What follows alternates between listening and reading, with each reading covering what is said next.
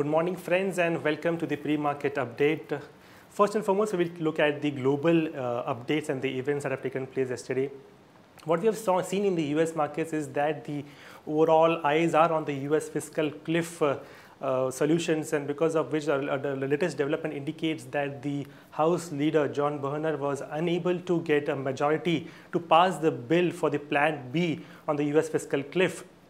It has been a major setback for the House leader where it was expecting the uh, bill to get passed and get a majority, but uh, it has come as a setback for the uh, for, for John, and because of which now this uh, solution for the US fiscal cliff will now get delayed for till next week because of the Christmas holidays.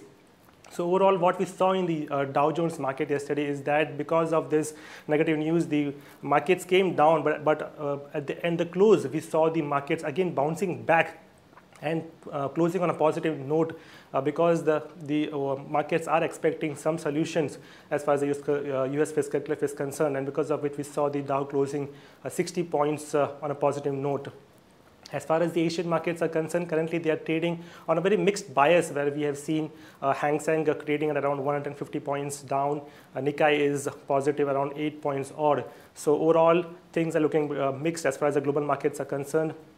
Back home, we have seen the uh, overall a range bound kind of a markets uh, in the Indian in the Indian stock markets. And as far as the fund flows are concerned, we have seen the FIs continuing their buying spree, where we have seen yesterday also they have been a buyer to a tune of around 444 crores on a provisional note. And at the same point of time, the DIA has been selling, and they were sellers at around 467 crores odd in the yesterday's trade. So overall, we will have to see how the things pan out going ahead, and we will take a call uh, from a derivatives point of view, and we would like to call Mr. Seville in terms of the ideas and strategies uh, on the Good morning, Seville. Good morning. Uh, how is the overall market looking in terms of the overall broad market in terms of the F&O uh, data?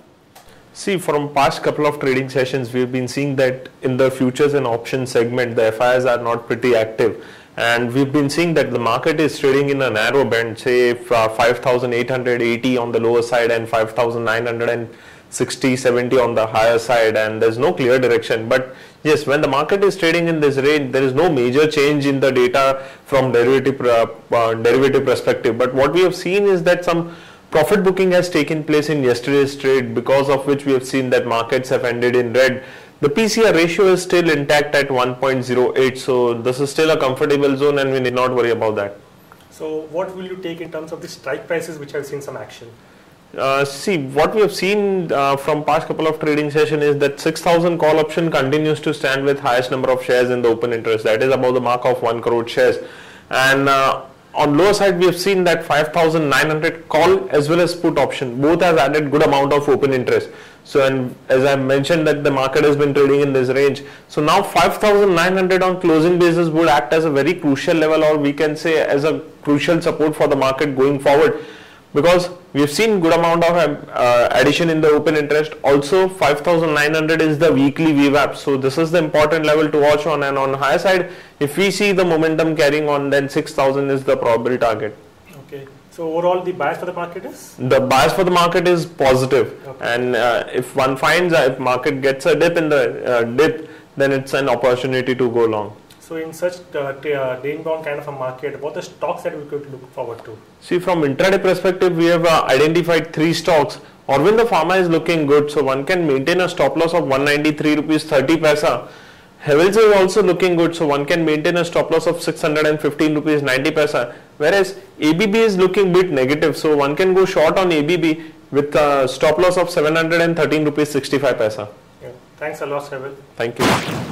Friends, uh, let me take you through the MID ideas for today. First and foremost, uh, a positive news for Eros International, which has got a very good response as far as the offer for sale is concerned, where the offer for sale of around 2.8% stake in Eros Media has been oversubscribed by around 4.4 times.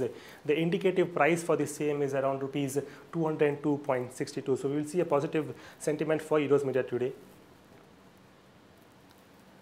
Friends, the banking law, which has been uh, um, so long pending, has now been passed in the parliament where both the corporate houses have entered into the have paved the way for the banking sector by approving the banking bill, which has been a key reform legislation which is pending since long. The parliament has also passed the amendments to the debt recovery laws or the SARFAESI law after a reply by the finance minister on the combined discussion on the two bills also in the Rajya Sabha. Now, as far as the banking licenses are concerned, sources have indicated that the finance ministry is likely to finalize the guidelines for the banking licenses and this is likely to be announced by the end of December this year. This would be positive for the companies which have been applying for banking licenses like Mahindra Mahindra Financials and L&T Finance Holdings.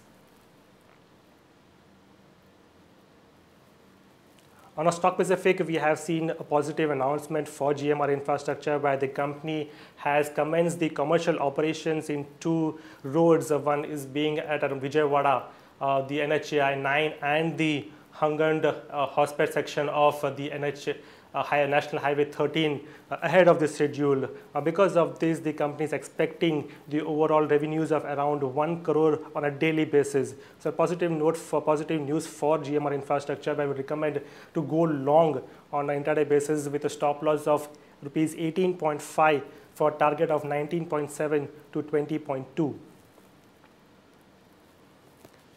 A positive news for TCS where the company has said that it is expanding its footprint in various uh, geographies like China, Japan, Latin America and Europe to tap opportunities there.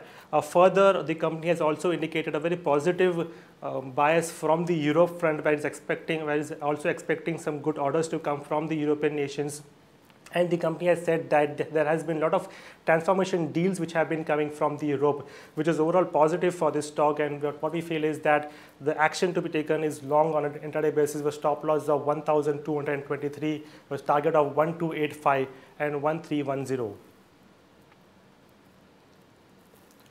DLF has launched a new luxury housing project in Gurgaon. The overall sales realizations to be around rupees 900 crores. On the basis of this news, we recommend to go long on DLF with a stop loss of 221 for target of 233 to 237.5. Tata Communications has uh, mentioned that it is looking forward to reducing the overall cost and also rebalancing the cost because of the uncertain global economic outlook. and this would be a positive as far as the company is concerned. And action to be taken is long Tata Communications with a stop loss of 221.5 and targeting 233 to 237.5. One of the major events which have taken place is the Inter Inter Intercontinental Exchange has buy out New York Stock Exchange Euronext for $8.2 billion. Yesterday, the uh, NYSE stock was up by around uh, around 33% uh, because the valuations have been around uh, much premium to the uh, stock price which was trading and because of which we feel is that it's going to be sentimentally positive for MCX and also there is a one more news that MCX also got a SEBI approval uh, to operate as a full-fledged bourse. So because of which we feel is that the, momentum is going to be positive for MCX and we recommend to go long with stop loss of 1,476 targeting 1,551 to 1,581. A negative development, a negative news from Cairn India, where Cairn India has, is likely to revise the production guidance for FY 2013 lower, where the company has said that the overall there has been some pressure in the uh, reservoir problem in the Rajasthan gas field and where the company is expecting to produce around 3 lakh barrels per day and currently it is producing around 1 lakh 90,000 barrels a day.